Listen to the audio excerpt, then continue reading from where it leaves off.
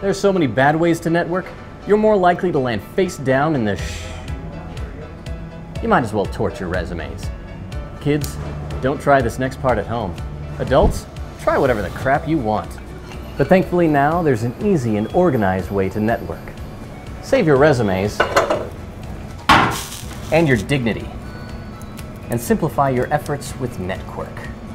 Visualize your network with an interactive map that scores your connections across all your internet profiles. Identify your top contacts and where you need a little help. Or in this case, a lot of help.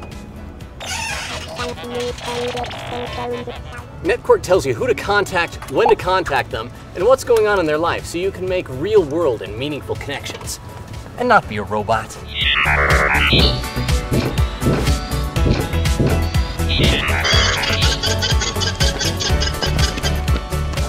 Making a new connection is easier than ever with Netqwerk.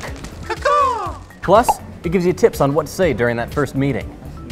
With this new connection, my friend can set alerts for when her contact has bad weather or for when his favorite sports team wins. It's like marketing automation for your personal network. Stop doing what isn't working. Network the right way. No spit networking with Netqwerk. Hello, amigo. Hey, Oh, you just love that. that was mine.